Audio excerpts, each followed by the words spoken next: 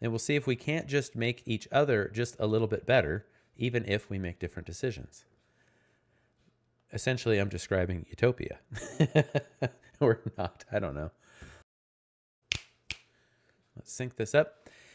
Hey everybody, welcome back to the channel. In this video, I am desperate for your help. That's right. So what I'm trying to do is plan as much as possible for the next project. Not just the normal planning, but we're going to change up some details. We're always trying to do things a little bit better or more efficient every time. And we're working with a new engineer who I spent a couple hours on Zoom last week. It's going to be awesome. I'm very much looking forward to this. I've sent him a bunch of these details to just kind of get the ball rolling, but but we just keep refining them. And our, our other engineer, well, he finally fully retired. So I talked to him last week too. He's enjoying his retirement, which is fantastic. He certainly earned it. I get a little misty eyed every time I think about him. We've worked together for over 20 years. And boy, he's taught me a lot along the way. Anyway, so what I need from you is your biased and unbiased commentary in the comments below. What my goal is here is to really facilitate or at least get started a discussion.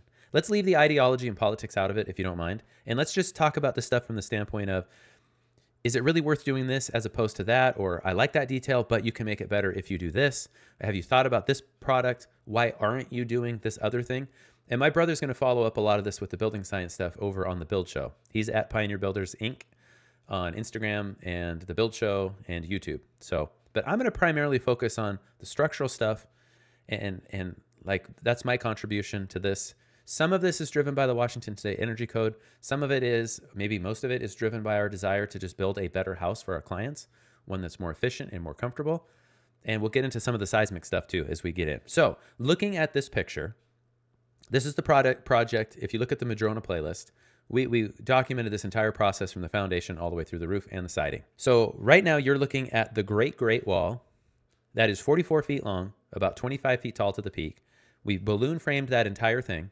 You can see that and I'll show you more detail. We add the overhangs and then we lift the wall. In this case, the rafters on the back, on the horizontal, they travel about 16 feet and then they hit that wall and they continue on up to the ridge. So these are about 29 foot long rafters. We elected to go I-joist this time. They're a lot lighter weight. They're more consistent, nice and flat. But we've also done, done this house before with 2x12s that just split over that uh, intermediate wall. Okay, so let me show you here in SketchUp. Here is a look of that eaves wall, the overhang, and the Great Great Wall without windows. it just is easier to draw. I don't have all that time in the world. Now let's go ahead and zoom in and I'll just walk you through what our standard practice typically is. We always frame our rake walls with the top plates flush with the top of the rafters. In that way, like this piece of zip roof, it can just extend all the way out over the overhangs, okay?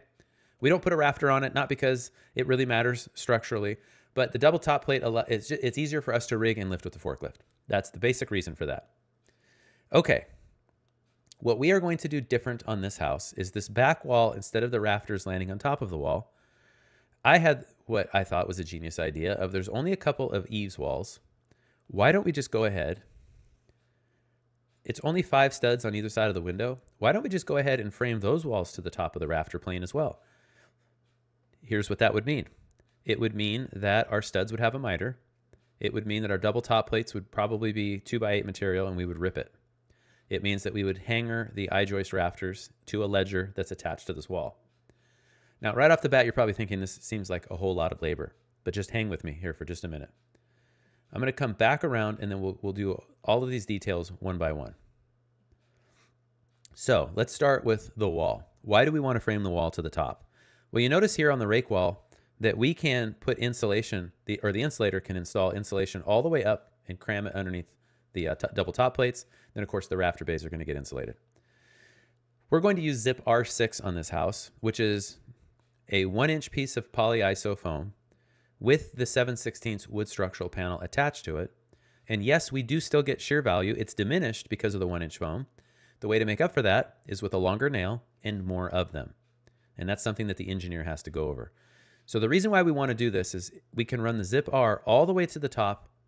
And now we have completely covered all the way around all of the studs with insulation. So it's like putting a coat on, right? We're now completely bundled up. Now there's, there's some uh, advantages to that. We want to tape the zip roof to the Zip R6, seal up the, uh, the rafter bays for insulation, and basically tape the house like it's a present. So at the bottom of the wall, the Zip R6 would be taped to the foundation with a SIGA Fentrim. And so from the concrete all the way up, if you do what Steve Baczek always says, and you draw your red pencil without lifting it off, or your red pen, we want this thing to just be wrapped up like a present and be airtight. And then we're going to manage the air. In order to do that, we have to employ what you may have seen over on the build show is some call it monopoly framing, where basically you frame the house with no overhangs and then you attach the overhangs. Now, you're probably thinking, that doesn't sound that smart structurally, but, but just put it in context. We have airplanes that fly very high. We have submarines that go very deep and there's pressure involved. We have bridges and skyscrapers and all manner of, of, of equipment. You just have to engineer it. Is it worth the engineering? And that's what we're going to document as we go through this, this project. So coming back to this detail, we would frame the rake wall first. And here's a pro tip for you. If you story pole and lay out your rake wall once it's up, then for this back wall, just take your measurements off that wall. It's an as-built. If you screwed up the, uh, the big rake wall, well, then just match the screw up to that back wall. You're probably not going to make a, a big mistake. Probably not, but we're going to story pole it, right? And we'll show you that as we go along. This video is just an amuse-bouche to the summer of videos that will be coming out. Now the overhang, let me just walk you through what my thought process is. And again, feel free to disagree with me. So right here is a 2x4 ledger and a 2x4 ledger. These are 16 inch overhangs that will get LP Smart Side soffit on the underside. That's going to help keep that wall nice and stiff too, by the way. It's going to be unvented, so it's a solid piece, 16 foot long, 16 inches wide. We have 2x6 subfascia, 5 quarter by 8 LP Smart Side fascia board. These little rafters are all of one foot three and a quarter long across the diagonal. So there's not very much weight here, and we don't have a snow load. Because we're using the Zip R, we have to use longer fasteners to penetrate the foam into the framing. And we have a couple of jumbo nailers that will shoot five inch nails. So that's what we'll attach this with. Now right here, I'm just going to erase this. What my plan is, is to see what the engineer thinks. If I run a screw like this, the Simpson Strong Tie SDWC Truss and Rafter Screw, or their new, I think it's the SWD. Remember, this all comes from Mass Timber. But those fully threaded screws then rely on the threading. And if I run one right through all of that, that should help to hold up the weight, right? That's my thought. And the SWD has some, I think, reverse threading where it will help to pull things together. So that's my thought. It's not very many. You know, these little guys are like two foot on center. So it's like 11 of them are going across this wall. It's not very much labor. Now, something you might have noticed right off the bat is why are we stopping the roof sheathing right here where my little fake tape is, is drawn? Couldn't we just put a high quality acoustical sealant across the top plates, bed the roof sheathing into that, and then we would we would have our air tightness? Brian doesn't really like the idea of that. We're probably still going to do that, but we want to tape this because we can quality control it and we can see it. And we've seen some of these videos. Travis over at Catalyst, uh, Matt Risinger, a lot of these guys have posted these details successfully. We're just adapting them slightly. And then, like as, as a framer, what my preference would be is to take this sheet and run it all the way here, right? Because now it spans the wall and it helps to hold the overhang. Ah, that, that would be my preference on the structural side. But again, if this is all designed and engineered, then we would just simply, let me just delete this guy. That's how it would look until we actually were sheathing the roof. Well, actually, this guy would be gone too. This is basically how it would look until we sheathe the roof. Then we would sheathe this first, tape at the bottom, and then we would add these rips. Now, what about on the inside? Let me zoom all the way around here. On the inside, I mentioned that we would be attaching these. So I'll have the engineer specify the LVL, and I think we're going to rip it the full cut depth of the I-joist. And then these brown circles represent SDWS timber screws from Simpson Strong Tie. That's what we all use to hold our decks up now. The literature is extensive. The testing is extensive. We absolutely love those. So the engineer will have to specify every two feet how many does he want on each stud and into the top plates, and does he want anything intermediate. One thing is that you notice here, obviously there's some spaces behind this. We would just have to pre-insulate that over the window. Not, not difficult. It used to be that we were framers. Now we're a whole lot of other things too. All right, there's a lot of information. There's kind of a, a, a more look from the cross section. I, I probably would not bevel this bottom, but maybe, I don't know. We'll, we'll decide that. So why do I want to do all of this? Let me come over here back to the images of the other house. When it comes to I-joist rafters, there are some annoyances about those rafters. In fact, I'm going to show you, this is the, the layout for this house that I've been going over. So this is a PWT layout. It's going to come through IWP up here. But notice how awesome it is that they print all of the details right on the I-joist layout. Now the details I'm most interested for the sake of this video are anything that have to do with the roof. So you notice J2 is if we ran the rafters over the ridge, we would have to then make this gusset and block and potentially insulate. Well, I don't want to do that. That's a lot of work.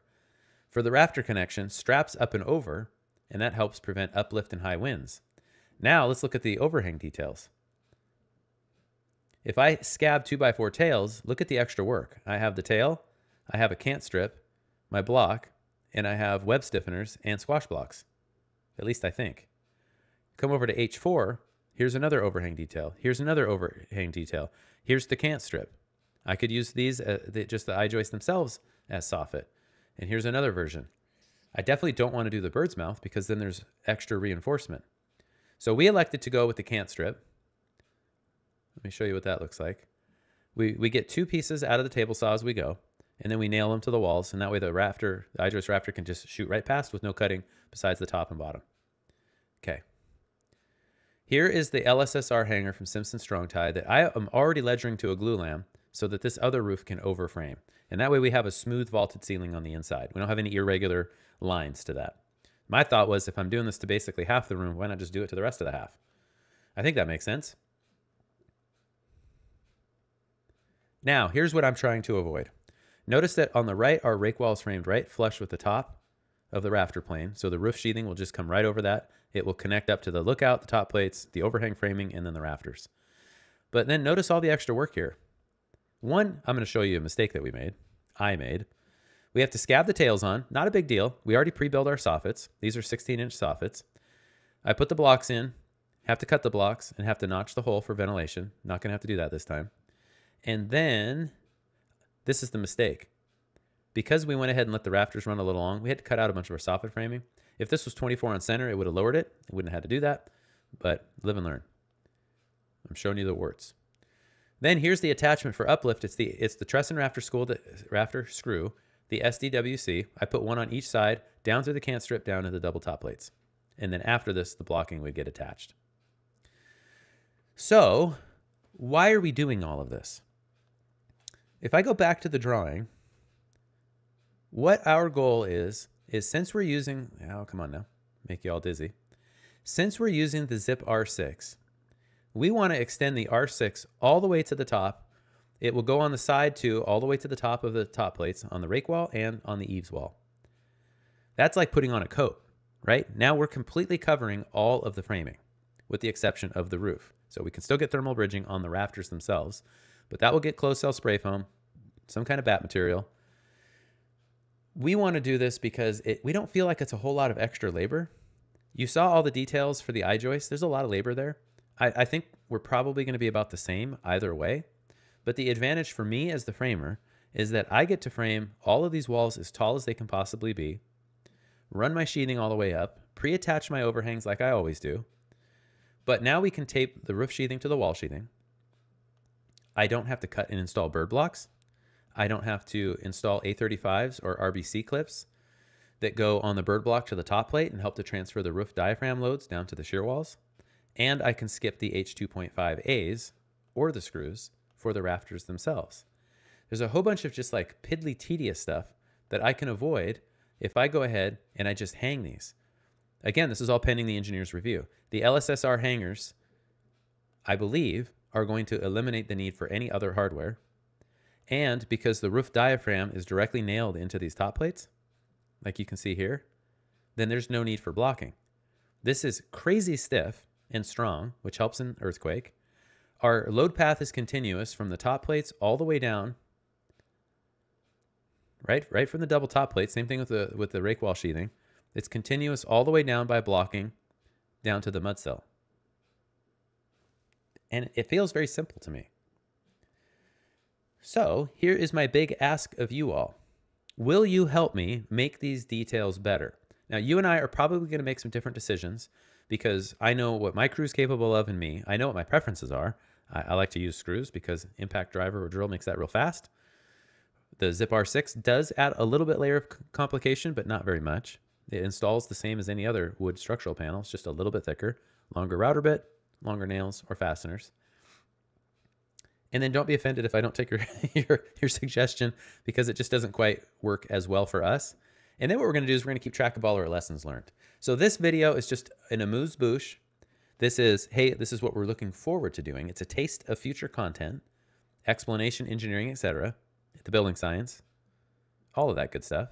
And then as the videos are released, we can see between now and then what changes did we make, and as we went along, what did we really wish that we wouldn't have done? Maybe nothing. I don't know. So thank you all in advance for any of your comments. Let's uh, let's if you don't mind, let's leave the trolling.